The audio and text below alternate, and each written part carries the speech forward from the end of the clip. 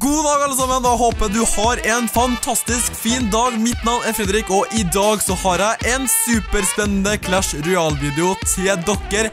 Vi skal blant annet åpne Legendary Chest, vi skal blant annet åpne Magical Chest. Dette kommer til å bli kjempeartig, så da tar vi bare og kjører på. Så nå som det er sagt, så har vi kommet oss i Arena 8. I alle fall, jeg har kommet meg opp i Arena 8. Jeg vet ikke på hvilken arena du er i, men i alle fall, jeg har blitt hekta etter det spillet her nå. Jeg prøver alle mulige måter på å komme meg i høyere pokalnivå, eller høyere arena. Jeg prøver masse forskjellige dekk, og har det kjempeartig, men nok snakk om det. Her er det Special Anniversary Offer, som da står det A Gift for You. Det er en gratis Magical Chest, for at de feirer at de feirer ett år av Clash Royale, så det blir kjempespennende. Vi åpner Magical Chest først nå. Ok, da er jeg superspent på å se hva vi får opp her. Starter med 503 gull som alltid. Vi får ett kort av Battle Ram, ikke at jeg bruker det. Vi får ni kort av Spare Goblins. Vi får ni kort av Ice Spirit. Vi får Minion Horde.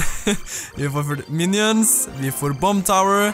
Og vi får Mirror. Ok, ikke sånn kjempebra ting i den kista her. Jeg kan få til å oppgradere den her fantastiske Åhå, se det kortet her da, det var dritfett. Ok, men kan, da kan vi ta oss oppgradere mirror-kortet her, men jeg tror ikke jeg bruker det her, det gjør ikke jeg. Men da kommer vi til den store greia her nå. Vi skal da åpne selve Legendary Chest. Jeg har bare en Legendary, og det er den her lave hound her. Så jeg er superspent. Jeg håper virkelig ikke at jeg får en lavehand. Så da til åpner jeg den, og der får vi Og vi får en lumberjack! Det var akkurat den jeg ønska meg. Og jeg skulle til å si det før her jeg åpna den her, at jeg ønska lumberjack. Men jeg trodde i alle fall at jeg fikk i alle fall litt mellomrom til å si det. Men du rekker åpna, og jeg fikk i alle fall lumberjack. Supert. Så da, folkens skal jeg ta og vise dere det beste dekket til Lumberjack. Så da er jeg tilbake. Da har jeg tatt også bygd dekket mitt. Jeg har Lumberjack, litt Barbards, Musketer. Jeg har Hog Rider, Zap, Minion Sword, eh, Goblins og Arrows. Så da er jeg superspent, og jeg gleder meg ekstremt masse på å teste dekket her nå. Så trykker vi bare på battle, og så kjører vi i gang med en eneste gang. Ok, skal vi se. Da er vi mot uh, min uh, kjære bror her. Så, hva står det egentlig der? Ja, skiten i alle fall i det. Jeg starter med å plassere en musketer. Det skal han få lov til. Jeg bare pusher på med barbars her nå, så får jeg se om han plasserer ut en skelettnarmé eller her nå.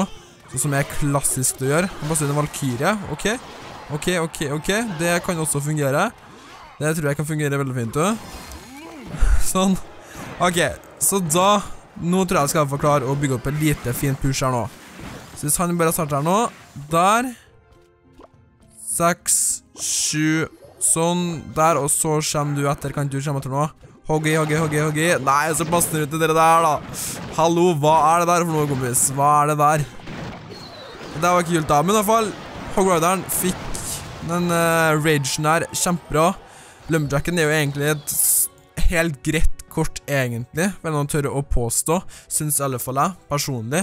Syns han tar en god del skade, samtidig som du får den ragen på slutten her. Ok, da tror jeg du kanskje til å kjøre på med et nytt push, det samme som han gjorde i stad. Ikke at jeg har et veldig bra, bra kort, egentlig. Skal vi se nå, hva vil egentlig det smarteste for meg å gjøre nå? Bare det minion horde? Da vet jeg at selvfølgelig at noen kommer til å bli skutt ned. Der, ja, herlig. Får jeg får tatt litt av den på musketeren her, så blir jeg kjempeglad. For da kan jeg bare ta og si ha det bra til den musketeren der, og ta han rett ut. Skal vi se om jeg får skade den der litt også. Ikke så alt masse, men det er helt greit. Kjører på med Elite Barbards. Nå skal jeg få det der pushet som jeg ønsker meg, hvis den ikke plasserer det der stygge skeletten igjen. Håper ikke jeg gjør det, altså. Jeg håper virkelig ikke. Der, vet du, nå snakker vi. Å, han gjorde det. Han gjorde det. Åh, han gjorde det, vet du. Liten luring av denne kisten her. Sånn, der. Åh, alle sammen. Alle sammen døve. Åh, Jesus Christ, hvor vanskelig. Shalla bing bang bong. Nå skal gjøre det for meg. Det skal han virkelig etter denne kissen her. Shalla bing bang bong. Ok, men da skal vi se. Nå orket jeg det tullet ditt lenger. Nå får du gjøre din egen greie, skulle du si. Eller det er jeg som gjør min egen greie. Sånn. Der i alle fall prøver å ta ut den flasteparten her nå. Der da klarer vi i alle fall å gjøre en god del skade her, så blir jeg kjempeglad. Kjører på med minion horde der og en liten zapp. Og får se om vi klarer å ta dem ut. Ikke så alt mye skade heller. Nå ser det ut som det går ganske dårlig for meg her. Det hadde jeg forventet meg egentlig. Ikke, skal, ikke la han ta ned det tårnet her da. Vær snill, please da, brorsan. Der, ja. Skal vi se her nå. Hva skal vi ta og gjøre nå, egentlig? Hva skal vi ta og gjøre nå? Hva er min hva er greia? Hva skal jeg gjøre? Hva skal Fredrik gjøre nå? Velkommen tilbake til Hva skal Fredrik gjøre nå? For han vet ikke. Skal vi se, klarer i hvert fall å, klarer å gjøre litt skade på den der. Fire. Åh, det er så nærme. Det er så nærme. Ja, nå glemmer jeg. Nå glemmer jeg. Jeg glemmer meg. Jeg glemmer meg. Har jo selvfølgelig et tårn her også. Jeg glemmer meg. Jeg glemmer meg. Har selvfølgelig tårn her også. Og selvfølgelig så klarer den loggen der å ta han ut. Fredrik, du er så dårlig! Åh, ok, skal vi se nå. Vi må ha i alle fall et eller annet. Jeg må tenke meg egentlig Dekket er så å si ganske bra. Det er bare jeg som er helt elendig. Beklager. Um, Little Barbards, vi har det. Skal vi se om vi har i alle fall noe som er en smule bedre, som kan gå litt her. Vi kan prøve uh, Royal Giant. Skal vi se. Og vi kan ta det istedenfor den her. Ok, nå kjører vi. Nå, folkens, nå har jeg det perfekte dekket. Nå jeg sverger, skulle du si. Men det gjør jeg ikke, for jeg vil ikke lage bort noe jeg ikke kan holde. Men det er greit. Det er litt av en tull. Skal vi se her nå. Good luck, det kan jeg også bare si. Uh, så kjører jeg på med det der. Jeg er egentlig ganske tom for ord i dag, for jeg er ganske sliten. Men det er noe. Så kjører jeg på med en Hogrider musketer bak, og nå venter jeg bare på av som kom. Der, ja. Halla. Sånn tar jeg den enkelt og greit ut, sånn som det der, og så gjør vi i alle fall litt skade på den der. Og som du ser, så gjør den en god del skade. Plasserer den der. Åh, han gjorde det der også, faktisk. Han gjorde det der også. Uh, Fredrik, hva skal du gjøre nå? Hva skal du gjøre? Jeg vet ikke hva jeg skal gjøre. Jeg vet ikke hva jeg skal gjøre nå. Tålet går jo ned. Jeg vet ikke hva jeg skal gjøre. Åh, jeg har ingen anelse på hva jeg skal ta og gjøre. Jeg får panikk av det her, altså. Det er sånn skikkelig panikk også. Ok, men det var veldig, veldig dårlig start. Hva som egentlig skjer i dag, det er et utrolig godt spørsmål. Jeg skal selvfølgelig få utrolig dårlige kamper når jeg filmer inn. Jeg skal aldri få dem når jeg spiller når jeg ikke filmer inn. Så det er noe så. Det synes jeg er bare kjempeartig og bare kjempekoselig. Selvfølgelig gjør jeg det. Skal vi se, du kommer til å gjøre sånn der, ja. Du kommer til å zappe deg, kompis.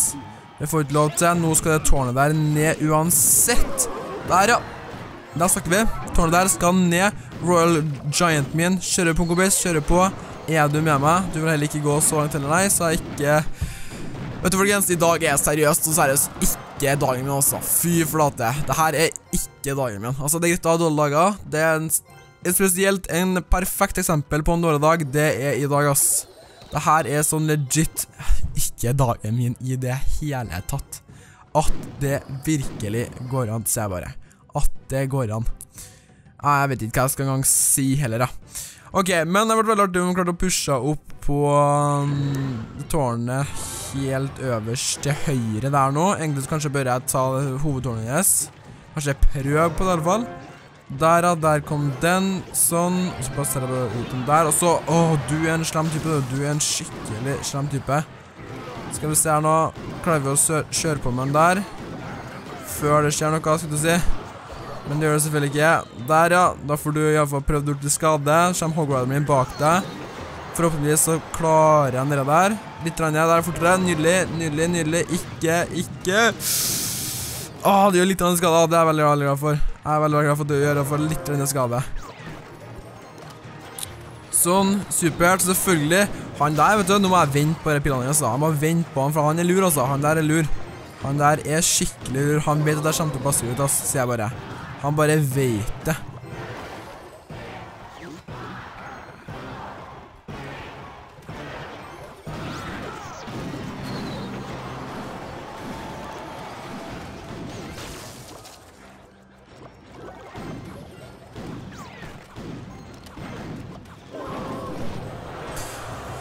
Uh. Nei, vet du, jeg vet sånn legit, sånn helt seriøst ikke Jeg har en så utrolig dårlig dag i dag At det går ikke an til å få en dårlig dag i dag, heller. Nå skal jeg seriøst legit bare gå og legge meg så, Åh, jeg gleder ikke gidder til å spille her Sånn, nå um, avinstallerer jeg spillet her Jeg trodde liksom jeg hadde best dekk her nå, men det hadde altså absolutt ikke